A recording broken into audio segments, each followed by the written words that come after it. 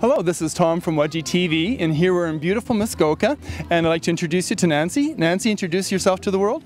Hi, I'm Nancy Hastings, and I'm owner of uh, Second Wind Conditioning.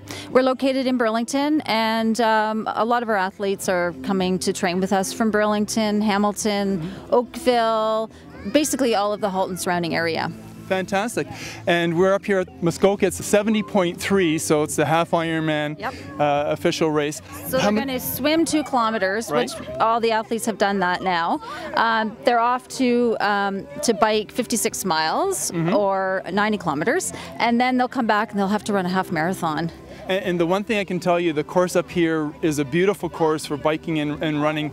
It Gotta love those hills. it- It's hilly, and it really rewards uh, good bike handling and being good technically on the bike. Yep. So Nancy, this is something that you look after when you, you that's why you come to a coach to get coaching on Absolutely. Uh, a couple of the girls that are here racing today um, with uh, Second Wind Conditioning, our team is called Iron Canucks. Okay. Um, recently, this past summer, um, some of these athletes that are here today also did a race in the U.S. Mm-hmm. And um, so for some, this is their second half Ironman this season.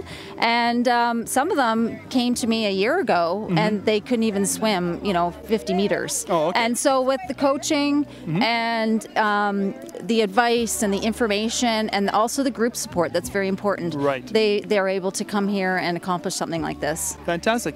Now, people that are interested in triathlon, what advice would you give for them to get started?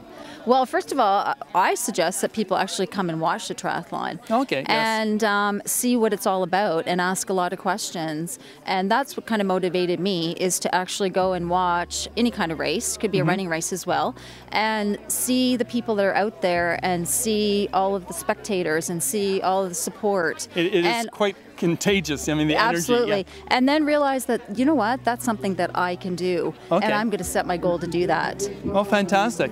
Some people think that to get into the sport is fairly expensive, but you can get in with basic equipment. Absolutely. So probably you already have a pair of running shoes, Mm-hmm. so you're you're all set there. Um, you probably already have a bathing suit, right, and your Mm-hmm. You'd hope. goggles. So yeah. and what I suggest to people is borrow a bike if Mm-hmm. you're not 100% sure about if this is something you want to do. And my first bike, I, I usually tell people is I wasn't sure about the sport, and I didn't have a lot of money at the time because I was a stay-at-home mom. Sure. And so um, someone actually sort of put together a bike for me, Okay. and that's what I used my, for the first couple years of doing try try triathlon. So Okay. I started out, and then I went to doing sprint distance, and then I went to doing half Ironman distance. So Excellent. over many years, working my way up.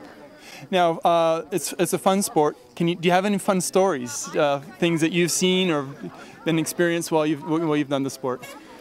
Fun stories. Well, every race is different. So Okay. one of the girls that um, is here with Iron Canucks today, she didn't expect it, but she got to her bike and she had a flat tire. So we were saying, well, that's good that we had that bike tire changing clinic. Right.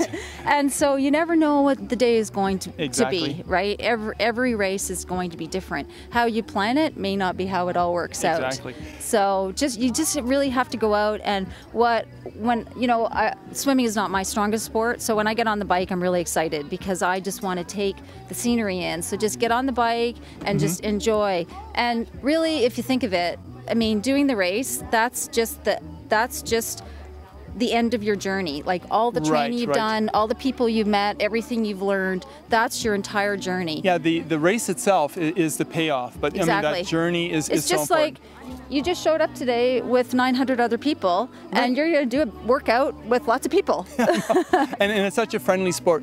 Okay, and um, any advice for people? Advice that I would give would be to suggest that people um, look at how their season went, Mm-hmm. and then look at the areas that they felt that they were challenged the most in. So if you felt that you were challenged in some of your swim workouts, Mm-hmm. then really spend some extra time over the winter, whether it's getting a coach or or just connecting and getting some more information about how you can improve your swim stroke. Right. And the same would go for you know cycling and running. Right. So whether you need to do a little bit more speed work on your runs, Right. um, strength training, you know, so so really figure out what that area is that you you need to work on.